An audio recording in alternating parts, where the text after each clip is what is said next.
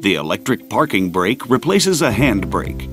It secures your vehicle against unwanted movement when stopping and parking. The electric parking brake is activated by pulling a lever on the center console. Hold the lever until the symbol on the lever and the indicator light on the instrument panel light up. The parking brake switches off automatically when you start driving. Auto Hold secures your vehicle against unwanted movement. It is therefore not necessary to secure your vehicle using a brake pedal or a parking brake when stopping. The system is activated by pressing the button on the center console.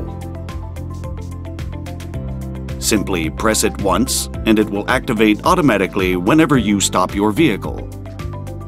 The system prevents the vehicle from rolling away when stopped. A warning light is illuminated on the instrument panel. At that moment, you can release the brake pedal.